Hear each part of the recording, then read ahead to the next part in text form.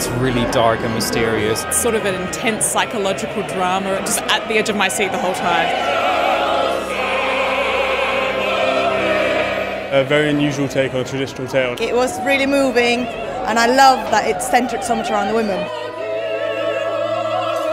The music was so beautiful and so interesting, and the voices in this show are absolutely stunning.